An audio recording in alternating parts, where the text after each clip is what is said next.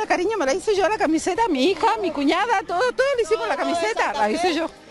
Bueno, a ver, vení, contame. ¿Cómo te llamás? ¿Cuántos años que vivís acá? ¿De qué barrio sos en Santa Fe? ¿De, de dónde? Los hornos, de los hornos. Es que Ya hace no sé. 40 años que vive aquí ya. 40 años en Barcelona. Sí, aquí en Barcelona. Ay, qué calor que tengo. Me estoy sofocada.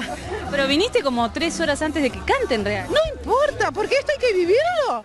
¿Sabes cuánto? Mira, yo me voy a morir, no lo volveré a ver, cariño. Yo me escapaba de mi casa para ir a ver los palmeras. Era de las primeras que salía a bailar en Centro Gallego. Con eso te digo todo.